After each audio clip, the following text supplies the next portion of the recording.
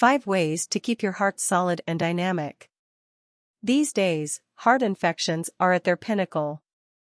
The ascent in heart related issues is because of an adjustment of eating way of life, absence of rest, and no actual activity. The heart is viewed as a significant organ in the human body. The siphon of blood through the body that provisions oxygen is what the heart is liable for.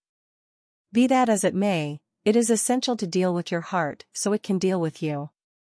Here are a portion of the manners in which that can assist with keeping a sound heart.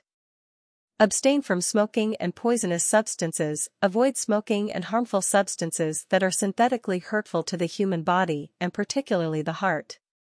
Such substances make trouble in streaming blood through the vessels. Smoking cigarette abbreviates the section of oxygen and blood to the heart.